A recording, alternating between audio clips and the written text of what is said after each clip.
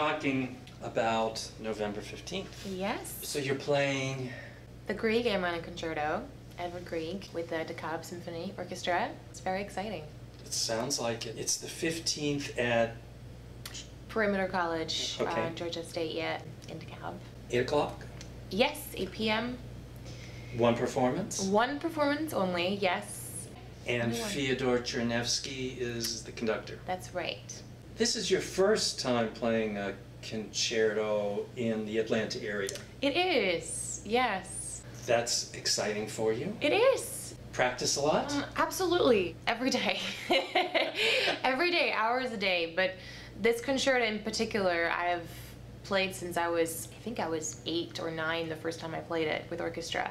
And so it's in my fingers and it's in my, my head and my blood. And um, that helps a lot when you relearn a piece like that. It may be the most popular piano concerto in the literature. Um, I believe so, yes. It's been played a lot of times. In fact, it's funny, the first time uh, Liszt played his concerto, the Grieg, he side read it, and the only comment that Grieg had to Liszt was that you're playing it too fast.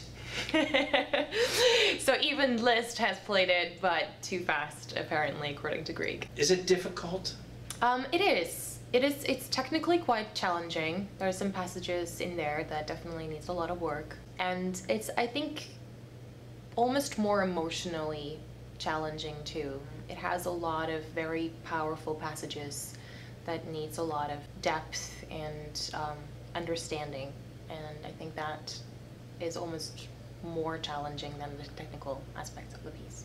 It must be exciting for you also because he's kind of a homeboy He for you. definitely is. Yes. With Grieg, he's. I feel like I almost know him. I love my country, and I love being here in the states. But my roots are from Norway, and I feel a certain connection with Grieg, and his pieces and his music because Grieg wrote in a style and in a way that he was very proud of Norway and his heritage.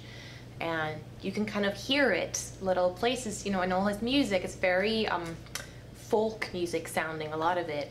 And you can kind of see little mountains or big mountains um, and rivers and you know goats and sheep jumping around and um, so you can kind of picture that when you hear his music. It's extraordinarily in the style of the Romantic area. yes I, it, it follows the traditional um, structure of a piano concerto. Yeah. It's full of melody, full of development. yeah And I think if anybody personally were to say, gee, introduce me to a piano concerto, Hmm. because I don't know anything about it, this is the one you would pick. Yeah, it, it follows all of the structures and stereotypes, I guess, of a, of a piano concerto. Yeah. Because of its popularity and its accessibility, mm. because people do play it a lot. Mm. Does that put a particular challenge, make a particular challenge for you? I don't think so, not for me personally at least. I know it's played a lot, and I enjoy all kinds of interpretations of it. But I feel like also because I have played it since I was so young, I put my stamp on it quite early on, and um, I've been uh, learning it with my first teacher in Norway, um, Einar Steen-Nøkleberg, who's who actually recorded because Grieg wrote um, two piano concertos, but the second one he didn't finish. And my old teacher actually recorded the parts that he did write for his second piano concerto. And um, he knows so much about Edward Grieg, and I feel very lucky and very fortunate to have been able to work with him um, on this piece. And Grieg can be surprising also Oh. because for as much as this piano concerto is in the romantic, very centered in the romantic tradition, Yes. some of his music is a little bit more in your face and aggressive. Yeah, I believe so. Yes, I think, you know, Grieg actually went through a lot of heartbreak in his life. Just one year after he wrote the piano concerto, um, his only daughter died, passed away from uh, meningitis. And um, he was heartbroken from that.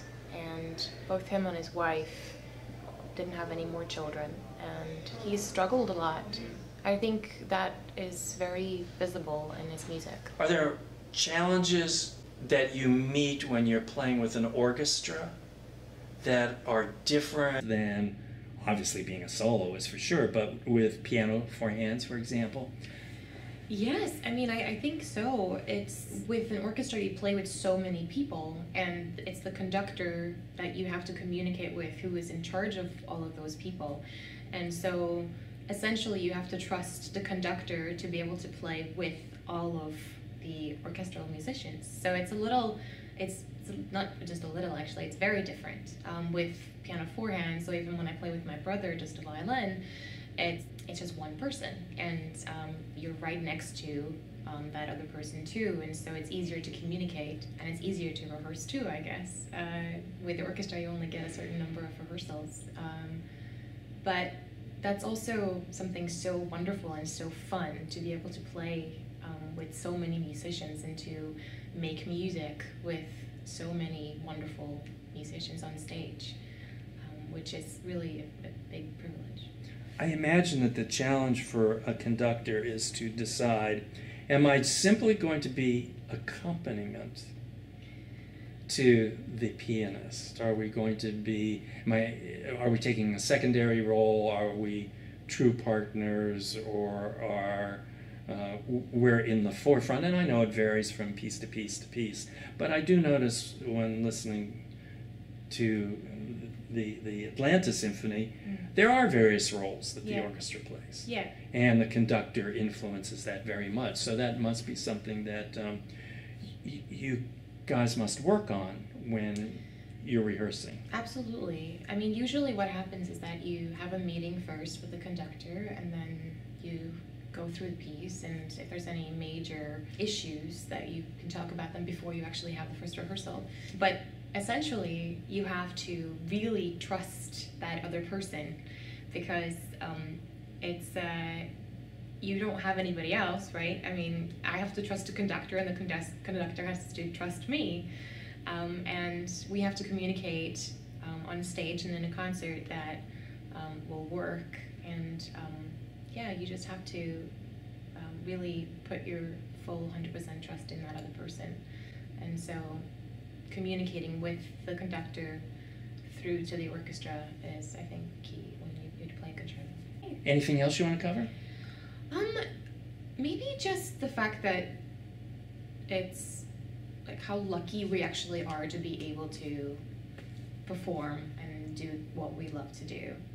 Um, I think playing an instrument and doing what you love every day is so special and so wonderful. And it really shows um, so much wonderful things about yourself and and a piece of music like the Grieg for example is a piece that I have played for for so long and um, it's one of my absolutely most favorite pieces in the world and to be able to play that with orchestra I just feel so fortunate and aren't we fortunate in Atlanta to have so many resources available? It really that is. we can do this. Can't happen in a yeah. lot of cities. Yeah, it is. It's wonderful. I mean, we have so much going on here, and um, I'm so lucky, and I feel so grateful that I am in this wonderful city that has so much to offer. Well, I can speak as a musical consumer. Yes. It's wonderful to have you here. It's great. Thank you. Thanks. It's great to be here. I've met so many amazing people here, and I've felt so welcomed and so included, which is actually pretty difficult for a musician when you move to a new place. Um, and the fact that I've just been welcomed with open arms here, um, I feel very privileged. And just um, a reminder that you're also part of the Atlanta Chamber Players. I am, and Georgia, Georgia Chamber, Chamber Players. it couldn't be much better than that. No, and I love all my students at Kennesaw State, where I teach uh, twice a week, and um, they're all just wonderful, wonderful kids, and um, yeah, so definitely keeping busy here, and I wouldn't want it any other way. Great. Okay, so again, that's November 15th. November 15th, yes. Georgia Perimeter. Georgia Perimeter, yep. 8 o'clock. 8 o'clock.